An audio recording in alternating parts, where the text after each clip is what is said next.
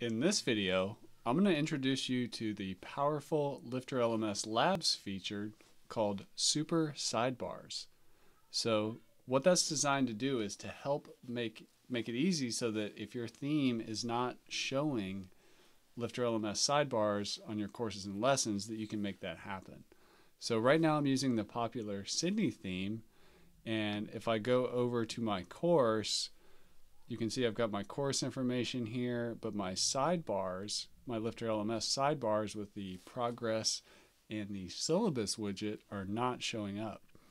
So if I were to go back into my widgets area here, you can see where I do in fact have these widgets installed, but they're not showing up on my theme.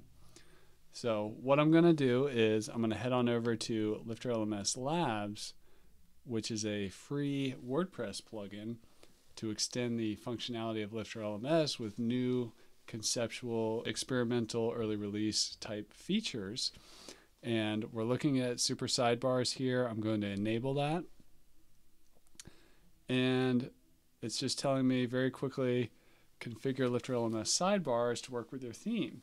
So there's a link to documentation here, but I'm going to select this sidebar option and I'm going to click save. And then I'm going to go on over here back to my site and I'm going to refresh it. And that's it. I have Lifter LMS sidebars now.